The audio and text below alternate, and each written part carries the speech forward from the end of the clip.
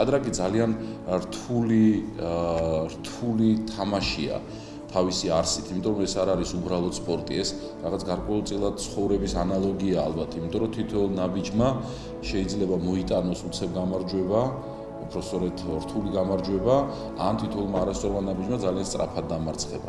ამიტომ ყველაზე მთავარი რაც ალბათ მე მასალვა ჭადრაკმა იყო ფიქრი გადაწყვეტილების მისაღებად.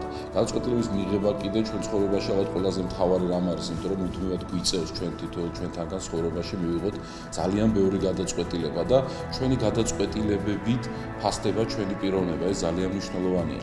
ამიტომ ვფიქრობ, რომ ჭადრაკი ზუსტად გვეხმარება იმაში, რომ ჩამოყალიბდეთ პიროვნებად, თუ რომ ადამიანის პიროვნება განისაზღვრება სწორედ მის მიერ გადადგმული ნაბიჯებით. ამიტომ ვთვლი მე რომ ჭადრაკი არის ძალიან მნიშვნელოვანი.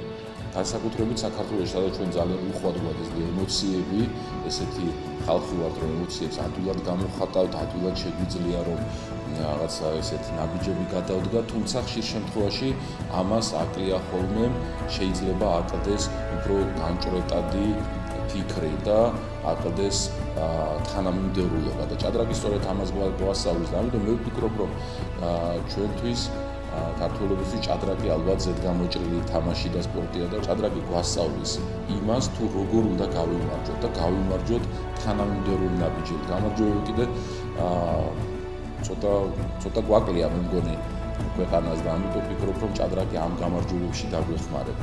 ითამაშე ჭადრაკი, იმიტომ რომ ჭადრაკი გასწავლის თუ როგორ უნდა გააკეთო სწორი არჩევანი. სწორი არჩევანი კი ცხოვრებაში გამარჯვების ტოლფასია.